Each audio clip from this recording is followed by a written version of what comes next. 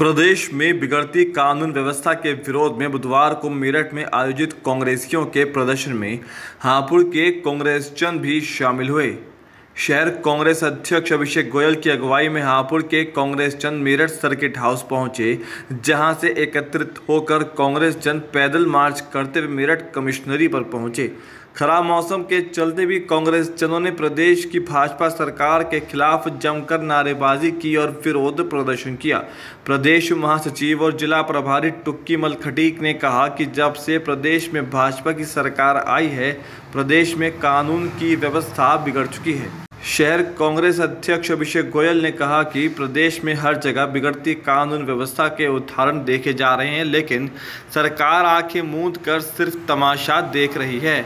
आज प्रदेश में सरकार के इशारों पर पुलिस द्वारा लोगों का उत्पीड़न देखने के मामले भी सामने आ रहे हैं। विपक्ष का कोई नेता अगर भाजपा सरकार के खिलाफ अपनी आवाज़ उठाता है सड़क पर उतरकर जनता के लिए अपनी आवाज़ बुलंद करता है तो ये तानाशाह सरकार विपक्ष के नेताओं को जेल में डालने का काम करती है जो प्रदेश में भाजपा सरकार के चाल, चरित्र और चेहरे को उजागर करता है अभिषेक गोयल ने मांग की है कि प्रदेश में बढ़ते अपराधों को रोकने के लिए कानून व्यवस्था को सुदृढ़ किया जाए और पुलिसिया उत्पीड़न को रोकने के लिए आवश्यक कदम उठाए जाएँ।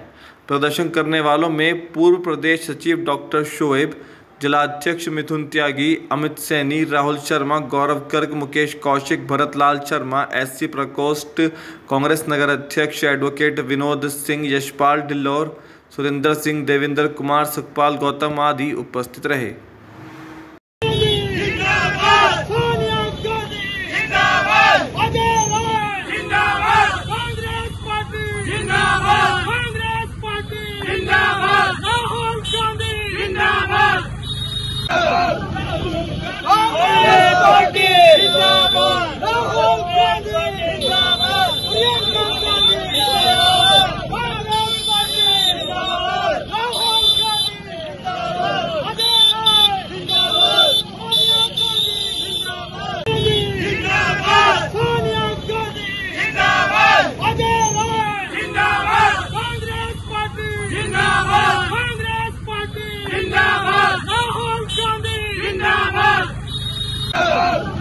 Yeah.